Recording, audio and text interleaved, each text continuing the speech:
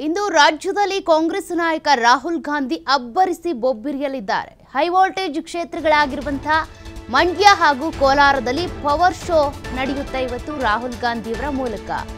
ಮಂಡ್ಯದಲ್ಲಿ ಬೃಹತ್ ಸಮಾವೇಶ ನಡೆಯುತ್ತೆ. ಕೋಲಾರದಲ್ಲಿ ರಾಹುಲ್ ಗಾಂಧಿಯವರು ರ್ಯಾಲಿಯನ್ನು ಕೂಡ ಮಾಡ್ತಾರೆ. ಮಂಡ್ಯದಲ್ಲಿ ಬೃಹತ್ ಸಮಾವೇಶ, ಕೋಲಾರದಲ್ಲಿ ರ್ಯಾಲಿಯನ್ನ ಮಾಡುವ ಮೂಲಕ ಶಕ್ತಿ ಪ್ರದರ್ಶನವನ್ನ ಮಾಡ್ತಾರೆ. ಕುಮಾರಸ್ವಾಮಿ ಸ್ಪರ್ಧೆ ಮಾಡ್ತಾ ಇರುವಂತಹ ಕ್ಷೇತ್ರದಲ್ಲಿ, ಅಂದ್ರೆ ಮಂಡ್ಯದಲ್ಲಿ ನಿಂತು ರಾಹುಲ್ ಗಾಂಧಿ ಚುನಾವಣಾ ಕಹಳಿಯನ್ನ ಮೊಳಗಿಸ್ತಾರೆ. ಇಂದು ರಾಜ್ಯದಲ್ಲಿ ಕಾಂಗ್ರೆಸ್ ನಾಯಕ ಅಬ್ಬರಿಸಿ ಬೊಬ್ಬಿರಿದ್ದಾರೆ. ಕೋಲಾರದಲ್ಲೂ ಜೆಡಿಎಸ್ ಅಭ್ಯರ್ಥಿ ಸೋಲಿಸೋದಕ್ಕೆ ರಾಹುಲ್ ಗಾಂಧಿ ತಂತ್ರವನ್ನ ರೂಪಿಸಿದ್ದಾರೆ. ರಾಹುಲ್ ಗಾಂಧಿಯವರು ಕಾಂಗ್ರೆಸ್ನ ಅಭ್ಯರ್ಥಿಗಳ ಪರವಾಗಿ ಮತಯಾಚನೆ ಮಾಡೋದಕ್ಕೆ ಅಂತ ಬರ್ತಾ ಇದ್ದಾರೆ. ಇವತ್ತು ಮಂಡ್ಯ ಹಾಗೂ ಕೋಲಾರ ಎರಡೂ ಕಡೆ ಕೂಡ ಶಕ್ತಿ ಪ್ರದರ್ಶನವನ್ನು ಮಾಡ್ತಾರೆ. ಮಧ್ಯಾಹ್ನ ಒಂದು ಇಪ್ಪತ್ತರ ಸುಮಾರಿಗೆ ಬೆಂಗಳೂರಿನ ಎಲ್ ವಿಮಾನ ನಿಲ್ದಾಣಕ್ಕೆ ಬಂದು ತಲುಪ್ತಾರೆ. ಅದಾದ ಬಳಿಕ ಅಲ್ಲಿಂದ ಹೆಲಿಕಾಪ್ಟರ್ ಮೂಲಕ ಮಂಡ್ಯಕ್ಕೆ ಮೊದಲು ತೆರಳುತ್ತಾರೆ. ಮಂಡ್ಯದಲ್ಲಿ ಸ್ಟಾರ್ ಚಂದ್ರು ಅವರ ಪರವಾಗಿ ಪ್ರಚಾರವನ್ನು ಮಾಡ್ತಾರೆ. ಮಧ್ಯಾಹ್ನ ಎರಡು ಗಂಟೆಗೆ ಅಲ್ಲಿ ಸಮಾವೇಶ ಇದೆ. ಆ ಒಂದು ಸಮಾವೇಶದಲ್ಲಿ ಭಾಗಿಯಾಗ್ತಾರೆ. ಸ್ಟಾರ್ ಚಂದ್ರು ಅವರ ಪರವಾಗಿ ಮತಯಾಚನೆಯನ್ನು ಮಾಡ್ತಾರೆ.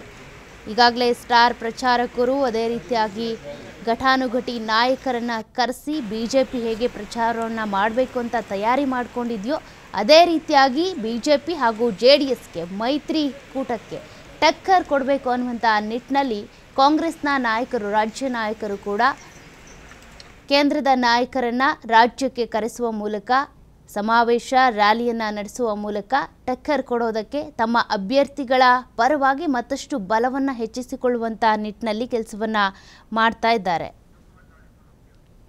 ಈ ಬಗ್ಗೆ ಹೆಚ್ಚಿನ ಮಾಹಿತಿ ಕೊಡ್ತಾ ಹೋಗ್ತಾರೆ ನಮ್ಮ ಪ್ರತಿನಿಧಿ ಶಿವಕುಮಾರ್ ಜೋಹಳ್ಳಿ. ಫೋನ್ ಸಂಪರ್ಕದಲ್ಲಿದ್ದಾರೆ. ಶಿವಕುಮಾರ್, ಈಗಾಗಲೇ ರಾಹುಲ್ ಗಾಂಧಿ ಅವರನ್ನ ಕರೆಸಿ ಮಂಡ್ಯ ಹಾಗೂ ಕೋಲಾರ ಕ್ಷೇತ್ರದಲ್ಲಿ ತಮ್ಮ ಅಭ್ಯರ್ಥಿಗಳನ್ನ ಬಲಪಡಿಸ್ಕೋಬೇಕು ಅನ್ನುವಂತ ನಿಟ್ಟಿನಲ್ಲಿ ಕಾಂಗ್ರೆಸ್ ತಯಾರಿಯನ್ನು ನಡೆಸಿದೆ. ಮಂಡ್ಯ ಹಾಗೂ ಕೋಲಾರ ಎರಡೂ ಕ್ಷೇತ್ರಗಳಲ್ಲಿ ಇವತ್ತು ಏನೇನೆಲ್ಲ ಪ್ರೋಗ್ರಾಮ್ಸ್ ಇದೆ, ಏನೆಲ್ಲ ಪ್ಲಾನ್ ಮಾಡಿದ್ದಾರೆ, ಏನೆಲ್ಲ ರಣತಂತ್ರವನ್ನ ಕಾಂಗ್ರೆಸ್ನ ನಾಯಕರು ಹೆಣಿತಿದ್ದಾರೆ ಅಂತ. ಭಾರತ್ ಜೋಡೋ ಪಾದಯಾತ್ರೆಯ ನಂತರ ರಾಹುಲ್ ಗಾಂಧಿ ಅವರ ಮೊದಲ ರಾಜ್ಯ ಭೇಟಿ ಇದು.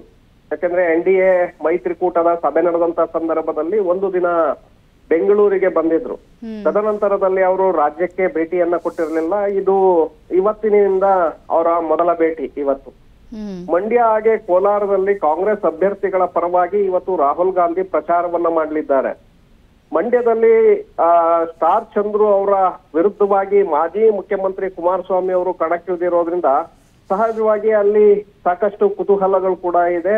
ಯಾಕೆಂದ್ರೆ ಒಕ್ಕಲಿಗ ಸಮುದಾಯದ ನಾಯಕ ಅಂತೇಳಿ ಈಗಾಗಲೇ ಕುಮಾರಸ್ವಾಮಿ ಅವರು ಗುರುತಿಸ್ಕೊಂಡಿದ್ದಾರೆ. ದೇವೇಗೌಡರು ಪರಮೋಚ್ಚ ನಾಯಕರಾಗಿ ಒಕ್ಕಲಿಗ ಸಮುದಾಯದ ನಾಯಕರಾಗಿದ್ದಾರೆ. ಹಾಗಾಗಿ ಮಂಡ್ಯ ಭಾಗದಲ್ಲಿ ಹಳೆ ಮೈಸೂರು ಭಾಗದಲ್ಲಿ ಒಕ್ಕಲಿಗ ಸಮುದಾಯ ಪ್ರಾತಿನಿಧ್ಯ ಅಂದ್ರೆ ಪ್ರಮುಖವಾಗಿ ನಿರ್ಣಾಯಕ ಆಗಿರೋದ್ರಿಂದ ಸಹಜವಾಗಿ ಆ ಮತಗಳನ್ನ ಸೆಳೆಯುವಂತ ಒಂದು ಕೆಲಸವನ್ನ ಮಾಡ್ಬೇಕಾಗತ್ತೆ. ಹಾಗಾಗಿ ಕುಮಾರಸ್ವಾಮಿ ಅವರ ವಿರುದ್ಧವಾಗಿ ಮಂಡ್ಯದಲ್ಲಿ ಸ್ಟಾರ್ ಚಂದ್ರು ಅವರ ಪರವಾಗಿ ರಾಹುಲ್ ಗಾಂಧಿ ಅವರು ಪ್ರಚಾರವನ್ನ ಮಾಡಲಿದ್ದಾರೆ.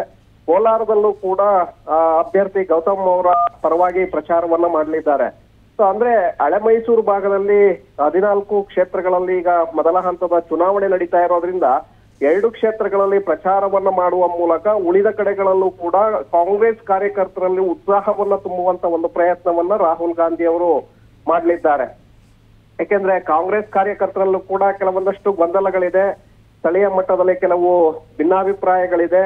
ನಾಯಕರ ನಡುವೆ ಹೊಂದಾಣಿಕೆಯ ಕೊರತೆ ಇದೆ. ಈಗ ರಾಹುಲ್ ಗಾಂಧಿ ಅವರು ಬರೋದ್ರಿಂದ ಸಹಜವಾಗಿ ಈ ಸಮಸ್ಯೆಗಳಿಗೆ ಅವರು ಬ್ರೇಕ್ ಅನ್ನ ಹಾಕಲಿದ್ದಾರೆ. ಕಾರ್ಯಕರ್ತರಲ್ಲಿ ವಿಶ್ವಾಸವನ್ನ ಮೂಡಿಸುವ ಮೂಲಕ ಸ್ಥಳೀಯ ಮಟ್ಟದ ನಾಯಕರಲ್ಲಿ ಹೊಂದಾಣಿಕೆಯ ಕೊರತೆಯನ್ನ ನೀಗಿಸುವ ಮೂಲಕ ಎಲ್ಲರನ್ನೂ ಕೂಡ ಒಟ್ಟಿಗೆ ಕರೆದೊಯ್ಯುವಂತ ಒಂದು ಪ್ರಯತ್ನವನ್ನ ರಾಹುಲ್ ಗಾಂಧಿ ಮಾಡ್ತಾರೆ ಅನ್ನುವಂತ ನಂಬಿಕೆ ರಾಜ್ಯ ನಾಯಕರಲ್ಲಿದೆ. ಯಾಕೆಂದ್ರೆ ಕಳೆದ ವಿಧಾನಸಭಾ ಚುನಾವಣೆಯಲ್ಲೂ ಕೂಡ ಅದೇ ರೀತಿಯಾದಂತ ಒಂದು ತಂತ್ರಗಾರಿಕೆಯನ್ನ ರಾಜ್ಯ ನಾಯಕರು ಎಣದಿದ್ರು. ಅದರಲ್ಲಿ ರಾಹುಲ್ ಗಾಂಧಿ ಅವರು ಆ ಆ, ಭಾರತ್ ಜೋಡೋ ಪಾದಯಾತ್ರೆಯನ್ನ ಏನು ಕರ್ನಾಟಕದ ಮೂಲಕ ಹಾದು ಹೋಗಿತ್ತು, ಅದರ ಒಂದು ಎಫೆಕ್ಟ್ ಅಸೆಂಬ್ಲಿ ಚುನಾವಣೆಯ ಮೇಲೂ ಕೂಡ ಆಗಿತ್ತು. ಹಾಗಾಗಿ ಅತಿ ಹೆಚ್ಚಿನ ಸೀಟುಗಳನ್ನ ಗೆಲ್ಲೋದಕ್ಕೆ ಕಾರಣ ಆಗಿತ್ತು. ರಾಜ್ಯದಲ್ಲಿ ಇವತ್ತು ಕಾಂಗ್ರೆಸ್ ಸರ್ಕಾರ ಅಧಿಕಾರಕ್ಕೆ ಬರೋದಕ್ಕೂ ಕೂಡ ಅದು ಪ್ರಮುಖ ಕಾರಣ ಆಗಿತ್ತು. ಹಾಗಾಗಿ ಈಗ ರಾಹುಲ್ ಗಾಂಧಿ ಅವರು ಇವತ್ತಿನಿಂದ ಪ್ರಚಾರದಲ್ಲಿ ತೊಡಗೋದ್ರಿಂದ ಸಹಜವಾಗಿ ಕಾರ್ಯಕರ್ತರಲ್ಲಿ ಒಂದು ರೀತಿಯ ಉತ್ಸಾಹ ಹೆಚ್ಚಾಗತ್ತೆ. ತಳಮಟ್ಟದಲ್ಲಿ ಪಕ್ಷ ಸಂಘಟನೆಯ ಕಡೆ ಹೆಚ್ಚಿನ ಗಮನವನ್ನ ಕೊಡ್ತಾರೆ, ತಮ್ಮ ಅಭ್ಯರ್ಥಿಗಳನ್ನ ಗೆಲ್ಸ್ಕೊಳ್ಳೋದಕ್ಕೆ ಅವರು ಸಂಪೂರ್ಣವಾದಂತ ಒಂದು ಬೆಂಬಲವನ್ನ ನೀಡ್ತಾರೆ. ಸೊ ಇದು ಹೆಚ್ಚಿನ ಸೀಟುಗಳನ್ನ ಗೆಲ್ಲೋದಕ್ಕೆ ಅವಕಾಶಗಳಾಗತ್ತೆ. ಹಾಗಾಗಿ ರಾಹುಲ್ ಗಾಂಧಿ ಅವರ ಎಂಟ್ರಿ ಇಡೀ ರಾಜ್ಯ ಕಾಂಗ್ರೆಸ್ನಲ್ಲಿ ಒಂದು ರೀತಿಯಾದಂತಹ ಸಂಚಲನವನ್ನ ಉಂಟು ಮಾಡ್ತಾ ಇದೆ ಸೌಖ್ಯ. ಥ್ಯಾಂಕ್ ಯು ಶಿವಕುಮಾರ್, ನಿಮ್ಮೆಲ್ಲ ಮಾಹಿತಿಗೆ.